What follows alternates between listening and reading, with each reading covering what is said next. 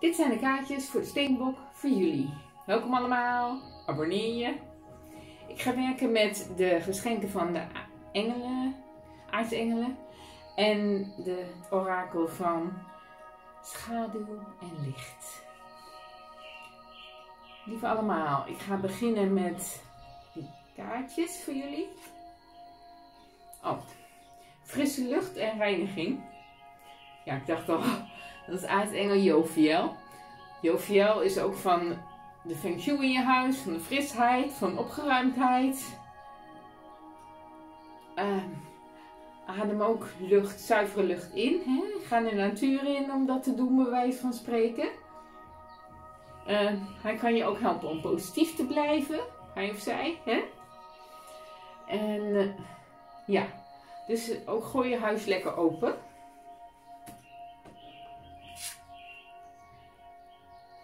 Breng je gedachten tot rust. Nou, dat is een hele duidelijke, hè? Aartsengel Satkiel. Doe bij wijze van spreken meditatie. Ga de natuur in. Wees in balans en zie de natuur, schoonheid van de natuur. Satkiel heeft daar. En dan komt Sandeflon met aarde. Connecten met de aarde gronden. Dus belangrijk is om te gronden. Om, om, want als je zeg maar uh, twijfels hebt, uh, angsten hebt, dan is het belangrijk om te gronden zodat je basischakra open blijft. En, en ga dus connecten met bomen, met de natuur. Uh, eventueel heb ik uh, meditaties om je basischakra open te hebben. Hè? Je kan engelenringen vragen en daar kan ik je ook nog wel meditatie voor sturen als je zou willen. Maar daar gaat je ook goed mee gronden. Maar je kan natuurlijk uh, Sandervlon ook gewoon om hulp vragen.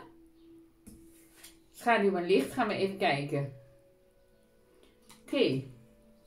Die reiniging is ook belangrijk omdat het, ja, er zijn wel eens botsingen van gevoelens geweest, van energie. Er staat hier zelfs een storm, een stormengel. Uh,